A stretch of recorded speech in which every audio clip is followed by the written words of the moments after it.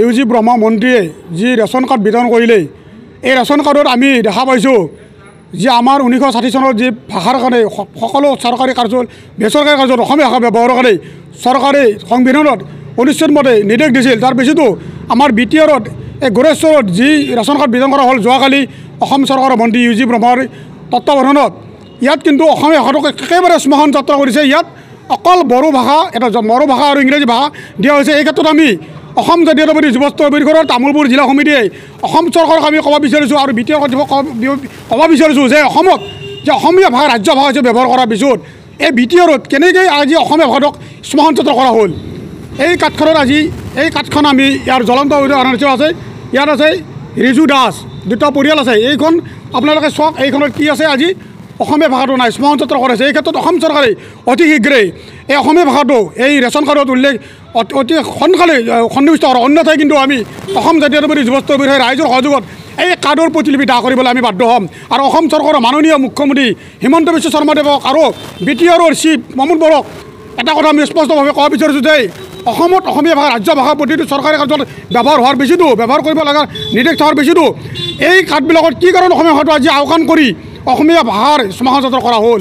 এই ক্ষেত্ৰত অচিৰেই বি টি আৰৰ চিফ প্ৰমোদ বড়োৱে আমাৰ ৰাইজক সৰ্বসাধাৰণ ৰাইজক উত্তৰ দিব লাগিব আৰু অতি সোনকালে এই কাৰ্ডবিলাক ডিষ্ট্ৰিবিউটৰ কৰাৰ পৰিৱৰ্তে অসমীয়া ভাষাটো ব্যৱহাৰ কৰাৰ বাবে আমি যুৱস্থ বিৰোধী দাবী জনাইছোঁ। অন্যথাই এই কাৰ্ডৰ প্ৰতিলিপি আমি অচিৰে আমি বি টি আৰত দাহ কৰি দাহ কৰিবলৈ বাধ্য হ'ম। যি ব্ৰহ্মা মন্ত্ৰীয়ে যি ৰেচন কাৰ্ড বিতৰণ কৰিলে এই ৰেচন কাৰ্ডত আমি দেখা পাইছোঁ যে আমাৰ ঊনৈছশ ষাঠি চনত যি ভাষাৰ কাৰণে সকলো চৰকাৰী কাৰ্য বেচৰকাৰী কাৰ্যত অসমীয়া ভাষা ব্যৱহাৰৰ কাৰণে চৰকাৰে সংবিধানত অনুচ্ছেদ মতে নিৰ্দেশ দিছিল। তাৰ পিছতো আমাৰ বি টি আৰত এই গোৰেশ্বৰত যি ৰেচন কাৰ্ড বিতৰণ কৰা হ'ল যোৱাকালি অসম চৰকাৰৰ মন্ত্ৰী ইউ জি ব্ৰহ্মাৰ তত্বাৱধানত ইয়াত কিন্তু অসমীয়া ভাষাটোক একেবাৰে শ্মশান যাত্ৰা কৰিছে। ইয়াত অকল বড়ো ভাষা এটা বড়ো ভাষা আৰু ইংৰাজী ভাষা দিয়া হৈছে। এই ক্ষেত্ৰত আমি অসম জাতীয়তাবাদী যুৱস্থ পৰিষদৰ তামোলপুৰ জিলা সমিতিয়ে অসম চৰকাৰক আমি ক'ব বিচাৰিছোঁ আৰু বি টি আৰক ক'ব বিচাৰিছোঁ যে অসমত যে অসমীয়া ভাষা ৰাজ্য ভাষা হিচাপে ব্যৱহাৰ কৰাৰ পিছত এই বি টি আৰত কেনেকৈ আজি অসমীয়া ভাষাটোক যাত্ৰা কৰা হ'ল?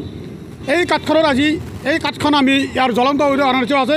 ইয়াত আছে ৰিজু দাস দুটা পৰিয়াল আছে। এইখন আপোনালোকে চাওক এইখনত কি আছে আজি?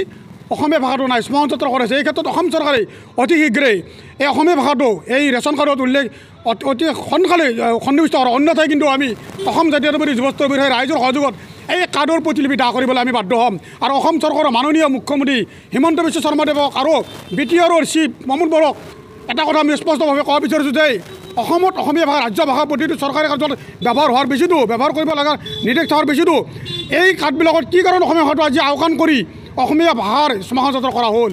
এই ক্ষেত্ৰত অচিৰেই বি টি আৰৰ চিফ প্ৰমোদ বড়োৱে আমাৰ ৰাইজক সৰ্বসাধাৰণ ৰাইজক উত্তৰ দিব লাগিব আৰু অতি সোনকালে এই কাৰ্ডবিলাক ডিষ্ট্ৰিবিউটৰ কৰাৰ পৰিৱৰ্তে অসমীয়া ভাষাটো ব্যৱহাৰ কৰাৰ বাবে আমি যুৱস্থ বিৰোধী দাবী জনাইছোঁ। অন্যথাই এই কাৰ্ডৰ প্ৰতিলিপি আমি অচিৰে আমি বি টি আৰত দাহ কৰি দাহ কৰিবলৈ বাধ্য হ'ম।